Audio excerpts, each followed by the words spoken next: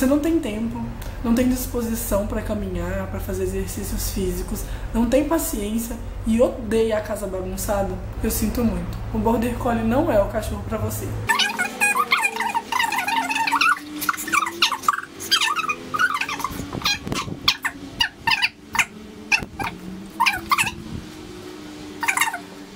Esse vídeo está sendo o vídeo mais difícil da história. Olá pessoal, tudo bem? Então hoje eu vou apresentar para vocês o Cooper, que é o meu bebê Border Collie. Ele tem três meses, tá? E ele é o novo bebê da casa. Eu aproveitei uma, hora, assim, que ele tá com soninho, que ele tá bem quietinho, pra vir contar pra vocês como é ter um Border Collie. Porque, gente, ele é impossível, ele não para um segundo, sabe?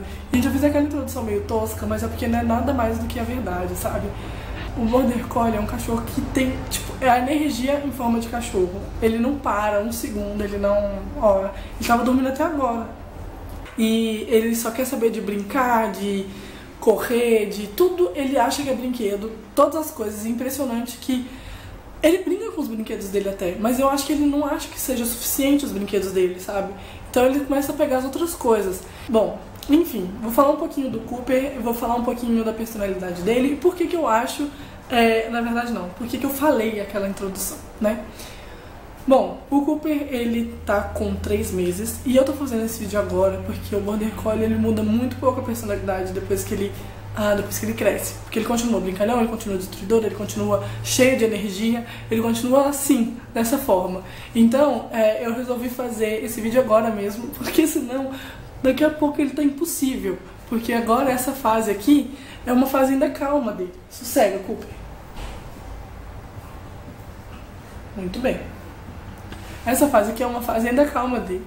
Bom, agora vocês vão me perguntar, né? Porque a maioria das pessoas está acostumada com border collie ou preto com branco ou chocolate com branco, que são realmente as cores mais comuns, assim, que a gente vê. Essa cor dele aqui, ó, se chama Blue Merle. Ele tem essa, ele é meio cinza, né? E ele tem essas manchas pretas, assim, no corpo e algumas extremidades brancas, tá? Então, é o Blue Merle. E o focinho dele também vai escurecer, ainda é branquinho e tal, mas vai escurecer. Bom, voltando, olha aqui que me descabelou. Como todo filhote, né, ele ainda tá em fase de aprendizado, ele tem umas dificuldades com algumas coisas. Cooper. Mas como o pessoal mesmo, todo mundo já sabe disso praticamente, o Border Collie é a raça considerada mais inteligente do mundo. Ela é a raça que tem mais facilidade de aprender truques, esse tipo de coisa.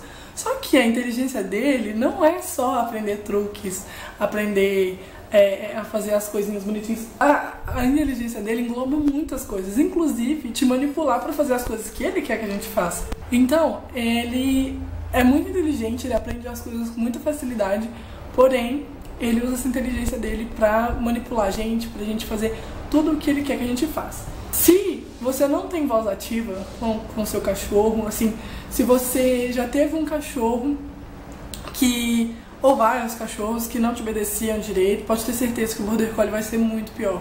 Porque ele usa essas coisas no favor dele. Entendeu? O interessante para alguém que tenha vontade de ter um Border Collie é uma pessoa que ela realmente impõe o que ela quer, ela tem uma voz ativa e que ela não tenha dó. Porque a, a maioria da, dos cachorros, eles se acostumam, porque a pessoa briga, porque eles fizeram arte, e depois a pessoa vai lá e abraça e dá carinho.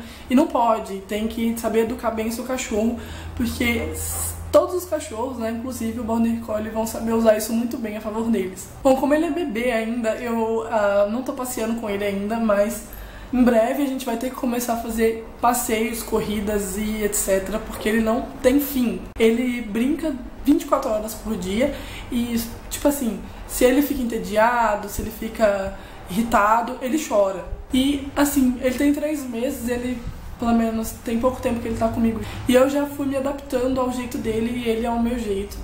Então ele já sabe algumas coisas, algumas palavras, por exemplo, o deitar dele e tudo mais, ele sabe. Ele quer o tempo inteiro atenção. Ah, em contrapartida de tudo isso que eu falei, que ele é bagunceiro, que ele come tudo, não sei o que, ele é o cachorro mais companheiro que eu já tive. É, de todos os outros cães assim que eu já tive, eu já tive muitas raças de cachorro, ele tá sendo o cachorro mais companheiro que eu já tive. E ele é companheiro e além de companheiro, ele é fiel. Por quê? Ah, ele, é, todo lugar que eu vou, ele parece um carrapato, ele tá junto. Eu deito, ele fica fazendo a baguncinha dele, mas é ali onde que eu tô. Onde eu vou, ele vai. E se eu deixo ele sozinho por um tempo, ele faz um escândalo, mas um escândalo. Mas, infelizmente, ele tem que aprender a ficar sozinho, porque eu não vou poder ficar com ele 24 horas por dia. Além disso, ele é fiel por quê? Ele é um cachorro que ele é bonzinho com qualquer pessoa. Mas as poucas vezes que ele entrou em contato com outra pessoa, além de mim, que eu vi pessoas estranhas, ele não é aquele cachorro dado, é aquele cachorro que vai com qualquer pessoa. Ele é meio desconfiado, ele não é medroso, mas ele é desconfiado, ele fica assim perto de mim, assim. E ele não sai indo para qualquer pessoa, sabe? Uh, isso é um ponto muito positivo, na minha opinião, porque é um cachorro bonzinho, é um cachorro que não vai morder ninguém, mas também é um cachorro que não vai com qualquer pessoa. Isso pra mim é ótimo. É, no primeiro dia que ele teve aqui, ele já comeu o fio da televisão e eu tive que brigar com ele. Graças a Deus, depois ele não comeu mais nada. Mas ele tá sempre fazendo umas bagunças pequenas, por exemplo, carregando o sapato pra um, de um lado pro outro é, e tal. Gente, ele não larga bolinha, garrafa, nada. Tem, ele fica brincando disso o dia inteiro. E eu acho que você, se você tem um, você tem que se dedicar a um tempo para brincadeira, para ele gastar a energia dele. Porque se ele não tem onde gastar a energia dele, ele vai gastar nas suas coisas, nas coisas que não pode. E ele não, realmente ele não dá conta de ficar sem fazer nada. É, é assim, é, é difícil eu descrever para vocês, porque assim, todos os cachorros, mesmo sendo da mesma raça, sendo parentes da mesma família, cada um tem a sua personalidade, cada um é um indivíduo, cada um age de uma forma. Pode ser que você tenha um border collie tranquilo, que eu acho muito difícil, porque 100% dos border collies que eu conheço são muito, muito agitados. É, são cachorros que não param, tudo. É uma raça muito fácil de se educar, contanto que você tenha o pulso firme, contanto que você ensine as coisas certas, contanto que você saiba a hora certa de uh, repreender, a, a hora certa de agradar. Ele vai aprender com muita facilidade. E é isso, então. Eu vou terminar o vídeo, porque senão eu vou terminar o vídeo sem roupa, porque enquanto eu tô prestando atenção em vocês, ele está comendo os botões da minha roupa, né, cara? E ele tá se estressando já de ficar aqui comigo. Então é isso. Eu espero que vocês tenham gostado do vídeo. Espero que vocês gostem do meu bebê. E se vocês querem acompanhar fotos dele, a vida do Cooper, para de comer o negócio da câmera. E se vocês querem acompanhar o Cooper, o crescimento dele, como que ele tá e tudo, é só me seguir lá no Instagram, arroba Paula. E aí, se eu vou despedir antes que ele derruba a minha câmera, ele perca a paciência e comece a latir, a me lamber, a me dar um ataque de novo. E é isso então.